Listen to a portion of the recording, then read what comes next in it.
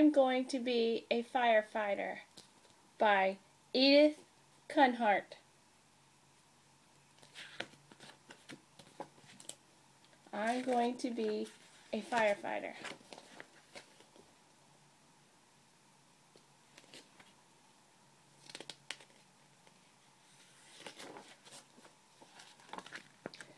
My name is Holly. I'm at the firehouse.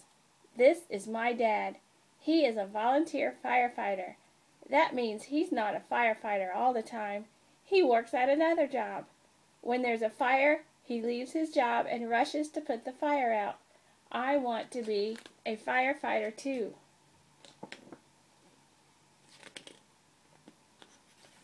Look, Daddy is bringing out the truck. My mom and my little sisters, Lisa and Emily, watch. The engine makes a big noise. We all get a little scared. Dad turns off the engine and puts on the brake. We climb onto the truck. This is a pumper truck. It carries many coiled up hoses. It pumps water onto the fire. The hoses attached to shiny valves.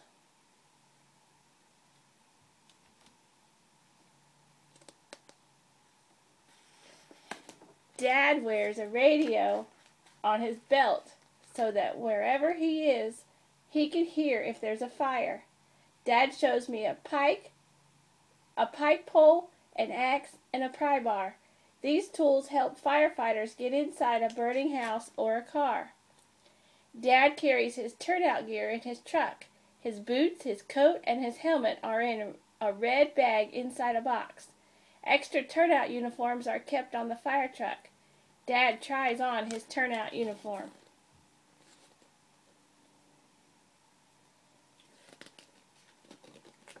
Then Lisa and I try it on.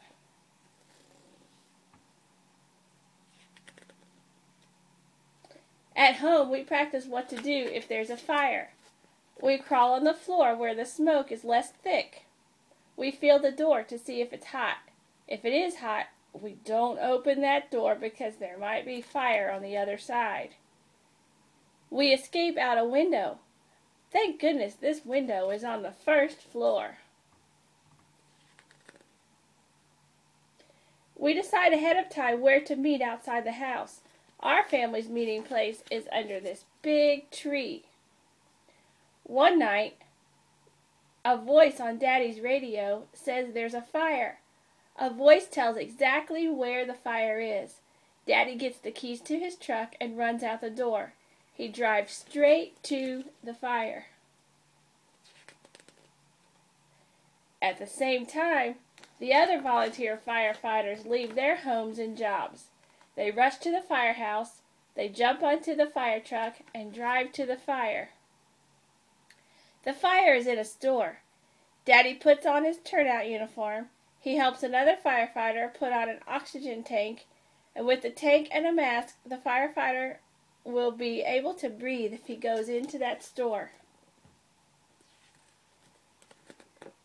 The firefighters attach hoses to the pumper truck and they spray water on the fire.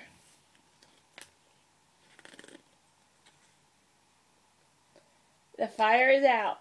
No one is hurt. There was no one in the store. Dad coils up the hose and the firefighters put their equipment in the truck.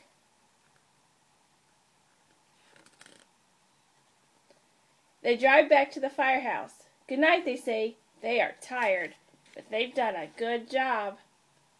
The next morning we have breakfast. Dad gets up late. When he joins us at the breakfast table, he tells us about the fire. He shows us how the flames shot up in the air. My dad is brave.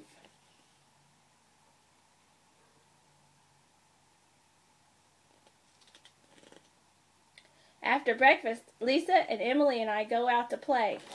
Can you guess what we played?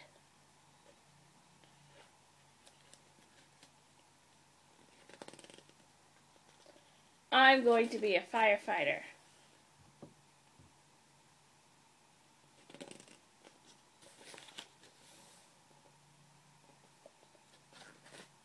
I'm going to be a firefighter.